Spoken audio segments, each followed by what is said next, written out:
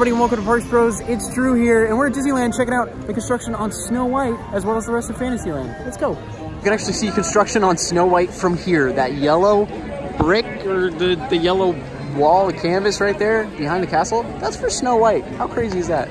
We headed over to the castle just to look at it. This is the most empty in front of the castle I've seen in ages, but you can see giant progress going on with Snow White. I did not know they were doing this much on it.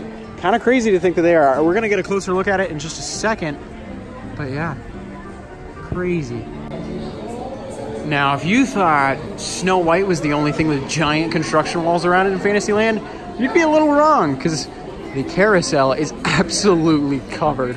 Oh my goodness, there are walls everywhere in Fantasyland. So these walls are super detailed and it looks like they're showing off what will be done to this area. Looks really pretty. So these walls show off a little bit of what they're changing inside the ride. There will be a brand new ending scene that will be a little happier, which is awesome. But this is insane to see these walls so tall and next to the castle. But this is crazy. It'll be like this for another couple months. But looking just across the way, King Arthur's Carousel completely eclipsed itself. Uh, not as fancy tarps over it though, but that's okay. But the sword is still in the stone.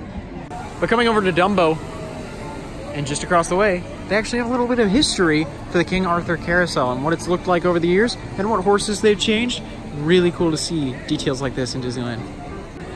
But to see this much of Fantasyland walled off, it really feels like they're redoing most of the land. I mean, it's obviously not most of the land. It's just a small chunk. But with it being so close together, seems very claustrophobic over here. This wall being all finished is really great to see in person. Some scrims have gone up on the wall next to Astro Blasters, so they're redoing this side as well. And speaking of the redoing of walls, look at this new paint job next to Star Tours. Looks great. Come over to Space Mountain, you can see those emergency stairs looking very futuristic indeed and hopefully they'll be usable soon.